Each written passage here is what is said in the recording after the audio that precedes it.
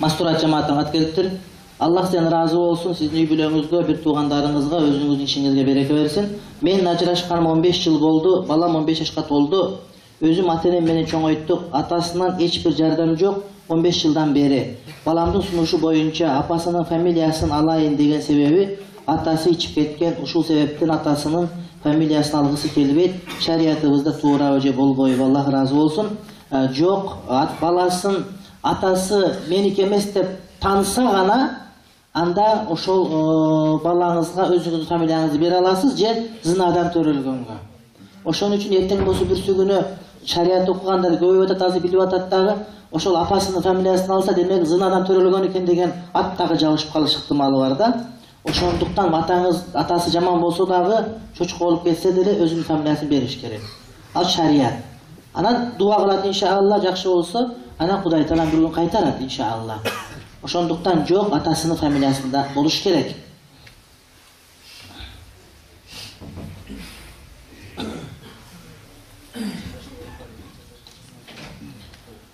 Ысырык салуу эмне дейсиз? Ысырык салуу сүннөт болот үйдө энем түтөтүп турат кандай ниет экенин билбейм. Биздин элдин баардыгы эле алас алас арбаледен калас деп ниет кылат ал туура эле ниет.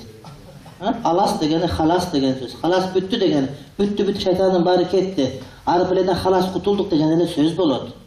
Анан бөйрөктөн ширак чыгарып ширк кыла берген болбойт.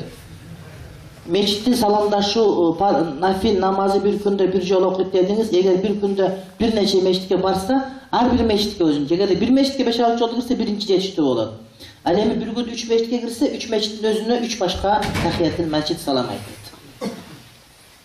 Ee, bir musulman kişi Kur'an'a düşüp Kur'an'ı taşlap koyup içimdeki verilip etse dinden çıkıp kalavacı çıkmayı dinden çıkmayı kaçan inkar kılmayınca. Olğanı fasık oluyorsa bitiredi.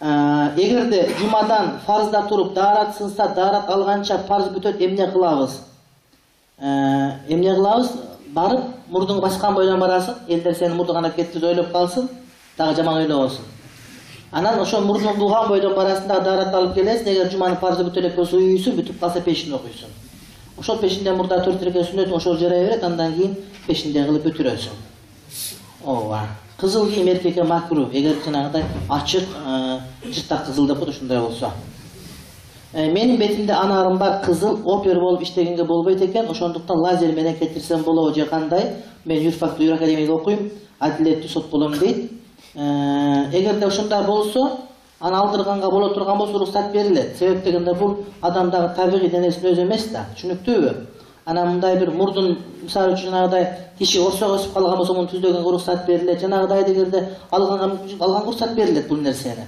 анан өзүндө табигый жанагыдай жалпы адамдарга бериле турган нерсени түз эле тиштин ортосун аралаган калган нерсеге тыюу салынат анан көп адамдар туура эмес үчүн андай эмес ооба эгерде ошол иштегенге кыйын боло турган болсо анда аны лазер менен алдырып бирок бир шарты бар ден соолугуңа зыян жеткирбей турган болуш керек. Бир адамдар бар мисалы үчүн мурду табиятынан кыйшык болуп калгандар бар да ошолор мурун түздүп алганга уруксат берилет адамдар мына мурду кыйшык кривонос деп айта бербесин десечи бирок анан жакшынакай эле мурдун анан бул жагын бул жака чоюп андан бетер көрктүү кылам десе жок андай болбойт ага болбойт биякта бирөө айтат чоң деген күнөө бар ошо чоң күнөөнү төрт жолу кылып алдым эми ошонун кафараты кандай касам ичкен элем мант ичкен элем дейт дагы тооба кыл тооба кыл тооба кыл тооба кыл таэжем айтат мазарга бармайынча дуаң кабыл болбойт да ошол туурабы дейт туура эмес. Мазарга биз бир эле максатта барабыз эки максатта барабыз. Биринчиси ошол көрүп куран окуп соом багыштаганы тазалаганча. Экинчиси ошолорду көрүп туруп анан биз дагы ушул жака келебиз деп ошолордон ибрат үлгү алганы гана. Алардан жардам суралып башка кылып андай деген жок. Даиф хадис менен мамлекет башкарса болот деп уккам ушуга кошуласызбы дейт бул ижмау же каяктан келген сөз мен дагы билбейм ошол уккан жериңен сурап айтып берер мен иштеген жерде эне жана балдардын ден соолугун коргоо борборунда кыз келиндер дагы келип аборт кылып кетишет экен анысыз келгенсип ал жака көз ачыкта алып келишет экен мен ал жерде кароочу болуп иштейм кечкисин борбордун мындай да тууганым эгерде кылган ишинин баштан аяк арам иш боло иштегени туура эмес бирок адал иштеп туруп бир канчасы анча мынча адам кошула турган болсо анда ал нерсеге иштесең боло берет. Себеп дегенде бул негизинен арам иш үчүн курулган нерсе эмес. Болгону ал бечаралардын пикиринде боюна болуп калганда алып койсо энеге жардам берген болуп эсептелет деп түшүнүшөт. Анысы туура эмес. Чынбы мисалы үчүн мектепте кароолчу болуп иштейсиң же бакчада кароолчу болуп иштейсиң кээде ошол жака жолугуу жок эжекелер иштейт. Ал деле күнөө. Бирок негизги максаты ал ошол жолук менен кириш же башка эмес илим бериш болгондуктан мектепте. Демек мектепке кароолчу болсоң болот деген сөз да кээ бирлер мектепте директор болсоң болот. Себеп дегенде менин карамагымда эжекелер кыска көйнөк кийгендер бар намаз окубагандар бар. Бул кандай болот деп сурайт биз айтабыз жок директор болуп иштей бер акырын акырын баардыгын иншалла оңдоп жибересиң деп айтабыз. Бир туугандар ууда каза болгондуктан көрдүн ичине кара кулпу ырымдап салабыз деп салынбай калды даярдап койгон кулпубузду учурунда таппай калдык биздин ырымыбыз бир тууган жакындарыбызга залакас тийбейби залакас тийбейт ырымдын да кереги жок эгер ошого ишенип алган болсо анда анда анда ширк болот тоголок молдо менен ленинград көчөсү кесилишкен жерде бир мечит бар экен жума окуганы бар шииттердин мечити аларга уйганга болбойт себеп дегенде аларда ошол жанагы бутуна мас тартышат бутка мас тартат ошондуктан намаз өтпөйт эгерде барып калсаң өзүңчө жалгыз оку же шериң менен оку имам алар өтсө өтпөйт себеби дараты жок ооба дараты жок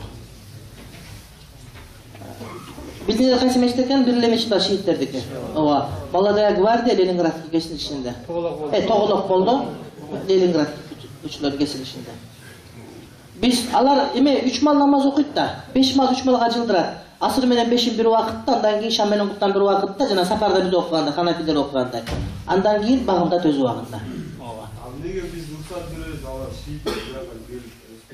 кандай уруксат беребиз мага чейин берилген экен да мен мен берген жокмун менин убагымда да сурап келишкен мен берген жокмун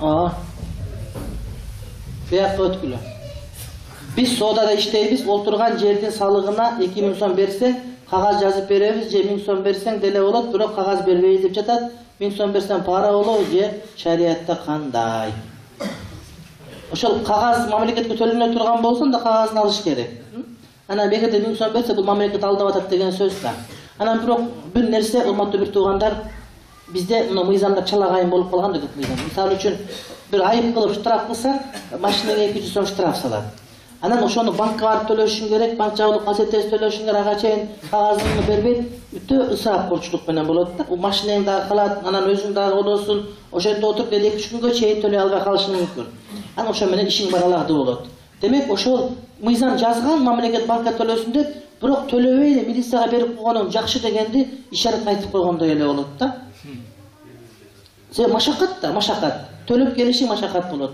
а жакшысы ар бир милицияга бирден аппарат берип койсо мындай ошол жерден төлөп квитанция чыгарып интернет түшүп кала турган болсо ошондой болуш керек эреже боюнча ошондо дурус демек айнасынан тиги банкка төлөгөндөн көрө тигинин чөнтөгүнө параны берген сага жеңилирээк болот демек мыйзам туура эмес жазылган бул жерде адамды кыйнабаш керек төлөгөнгө шарт болуш керек көчөдөн ишиң калат балаң бакчага барбай калат алып коет демек ошол мыйзам чалагай ошол учурда эмне кылганга туура келет эми карап көрөсүңөр ал убакта бул дагы ошондой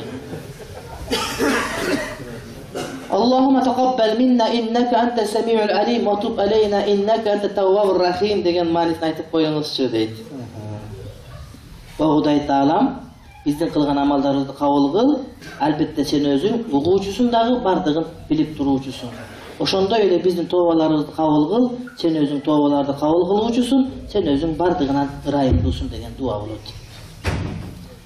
Эркекке алтын тагылганга болбойт бирок платинум платинадан шекек тагылса болот деп уктуп платинум алтындан кымбат болсо деле боло береби. Алмаздан болсун шекегиң боло берет алтын болбосун.